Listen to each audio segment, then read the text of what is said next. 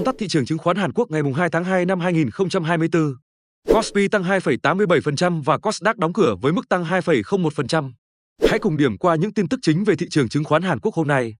YG Entertainment, video vũ đạo Kinzis Love của Blackpink vượt 500 triệu lượt xem. Trong tuần đầu ra mắt, MV lần lượt đứng thứ 41 và 24 trên các bảng xếp hạng chính của Billboard Mỹ, Hot 100 và Billboard 200, phá vỡ kỷ lục thứ hạng cao nhất đối với một nhóm nhạc nữ K-pop vào thời điểm đó. MV này cũng là bài hát ca pop duy nhất lọt vào top 10 video âm nhạc được xem nhiều nhất trên toàn thế giới năm 2019. SKIE Technology hôm nay công bố lợi nhuận hoạt động hợp nhất trong quý 4 năm ngoái là 26,879 tỷ won. Trong cùng thời gian, doanh thu giảm 2,76% xuống 172,494 tỷ won. Lợi nhuận dòng được tính là 71,77 tỷ won, tăng 653,08%. LG Electronics ra mắt máy lọc không khí LG Puricare Object Collection 360 với thanh lọc không khí khử trùng bằng tia cực tím.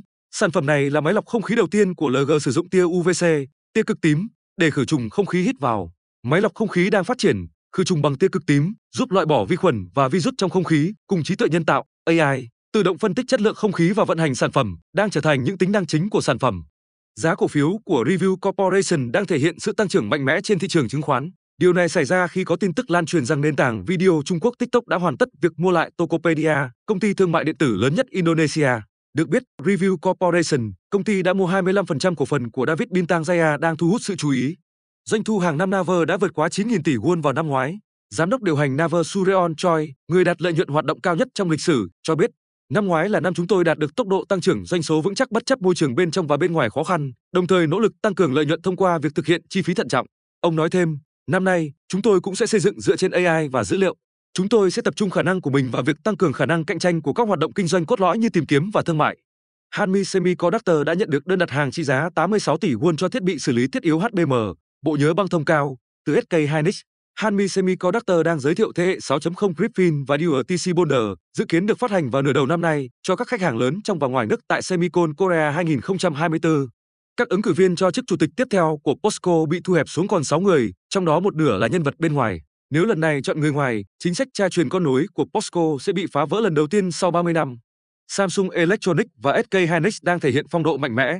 Điều này dường như là do sự bùng nổ chất bán dẫn trên thị trường chứng khoán Hoa Kỳ với việc Nvidia phá vỡ mức cao nhất mọi thời đại. Cục Dự trữ Liên bang Ngân hàng Hoa Kỳ cho biết họ dự kiến việc cắt giảm lãi suất sẽ bắt đầu trong vòng vài tháng nhưng kêu gọi không nên vội vàng. Fed dội một gáo nước lạnh vào kỳ vọng của thị trường, cho rằng khả năng cắt giảm lãi suất trong tháng 3 là thấp và về cơ bản đây không phải là một kịch bản được giả định.